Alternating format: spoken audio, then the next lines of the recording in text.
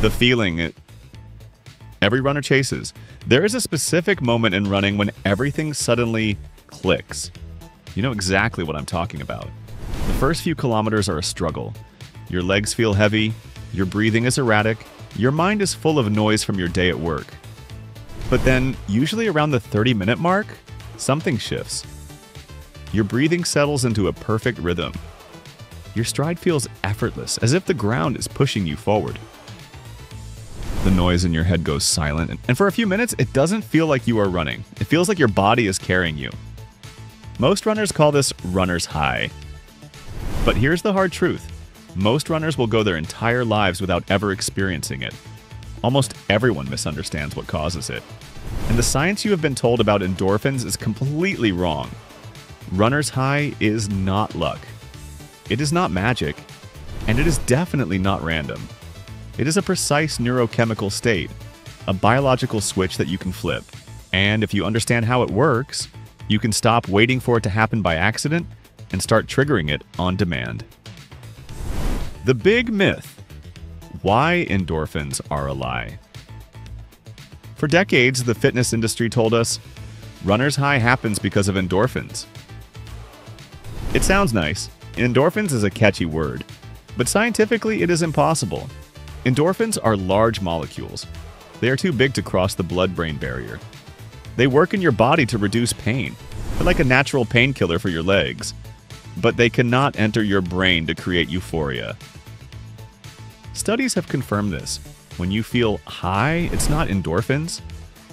So, what is it? It is a completely different chemical system, a system that is much more ancient and much more powerful. It's not one single chemical.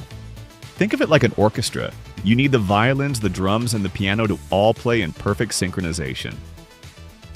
If one is out of tune, the music, the high, never happens. The real star, the bliss molecule. The conductor of this orchestra was identified in a breakthrough study in 2015. The chemical responsible for the high is not an opioid, it is an endocannabinoid, specifically a molecule called anandamide. The name comes from the Sanskrit word ananda, which means bliss. Anandamide is a lipid that crosses the brain barrier easily. When it floods your system, it creates four specific sensations reduced anxiety, a feeling of flow, dilated blood vessels helping you breathe, and a gentle floating euphoria. But here is the catch, and this is why you might be missing it. This system is fragile. If you run too fast, your body perceives stress instead of flow, and it shuts down anandamide production immediately. Most runners run their easy runs too hard, and by doing so, they chemically block the very feeling they are chasing. Dopamine, the chemistry of rhythm. But anandamide is just the calm. You also need the focus. This comes from dopamine. We often think dopamine is about pleasure. In running, dopamine is about rhythm. You know that moment when you stop looking at your watch? That moment when you don't care about the pace? You don't care about the distance? You are just locked into the cadence of your feet? That is dopamine stabilizing your neural pathways. It turns your brain into a metronome. But for dopamine to rise, your environment needs to be predictable. If you are constantly checking your GPS or stopping at traffic lights or surging to pass someone, you create dopamine error signals. The rhythm breaks, the high collapses. Serotonin and norepinephrine, the autopilot. Finally, to complete the cocktail, we have serotonin and norepinephrine. These are the chemicals of mood stability. This is the feeling of, I could run forever. It usually kicks in later around the 40 minute mark. It's a sensation of supreme confidence. The negative thoughts about your job, your bills, your relationship, they don't disappear, but they stop hurting. They become distant. Here's the problem most runners stop running at 25 or 30 minutes. They stop right before the chemical wave hits the shore. You are doing the work, but you are clocking out right before the paycheck arrives. Why 70% of runners miss the window? So, why do 70% of runners never feel this? It's not because they aren't fit, it's because they violate the biological rules of the high. There are three main killers of runner's high. High intensity. If you are gasping for air, you are in fight or flight. Cortisol floods the brain. Cortisol kills dopamine. Game over. Mental stress. If you run while thinking about your problems, the brain never enters the sensory state needed for flow. The duration gap. As we said, it takes time for the chemistry to brew. But I want to speak to the beginners for a second. If you can currently only run for 20 minutes, do not get discouraged. You aren't failing. Every time you run, even for 20 minutes, you are building more receptors for these chemicals. You are building the infrastructure. So, when you finally reach that 45 minute mark, the high will be even more intense for you. You are earning it right now. The golden window timing your run. Neurobiology gives us a specific timeline for when this magic happens. Minutes 0 to 20. This is the chemical warm up. This is usually uncomfortable. Don't judge your run by the first mile at minutes 20 to 35. This is the stabilization phase. The stress drops, minutes 35 to 65. This is the golden window. This is where anandamide peaks. This is where the magic happens.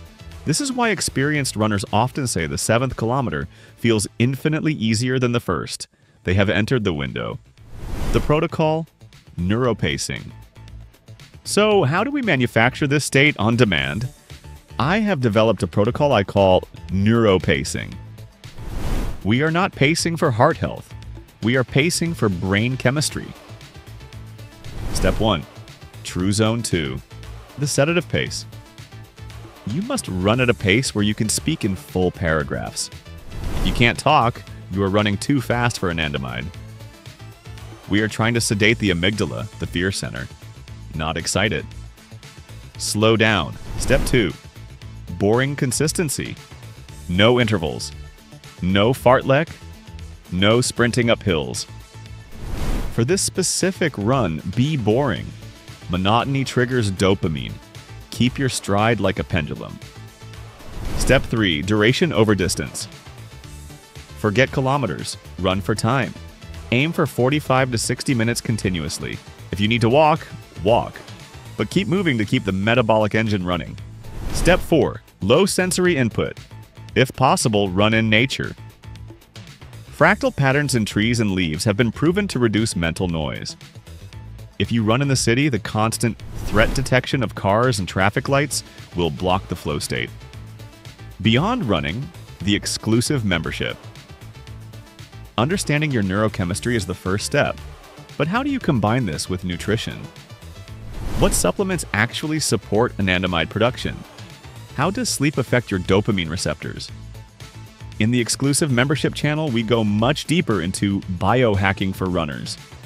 We analyze recovery protocols, supplement stacks, and advanced physiology that supports this chemical state. If you want the full operating manual for your body, the link to join is in the description the quick fix for tomorrow. Here's your homework for tomorrow morning. I want you to try this quick fix. Set an alert on your watch. Set it to beep if your heart rate goes above 75% of your maximum. Commit to staying below that line for 45 minutes. It might feel painfully slow. You might feel like you are shuffling. Trust the process. Do this four times a week. Research suggests that by training your body to tolerate this low intensity, you increase the probability of experiencing flow by 40% within just 21 days. Start training with science. If you are tired of running against your body, if you are tired of every run feeling like a battle, if you want to build an aerobic engine that actually performs, my coaching is designed for one purpose to make your training align with your biology, not fight against it.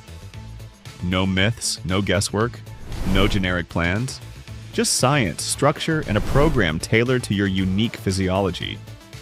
If you want to train inside a system built on real biology and predictable progress, start coaching with me today. I'll see you in the next video. Run smart, your running journey powered by science.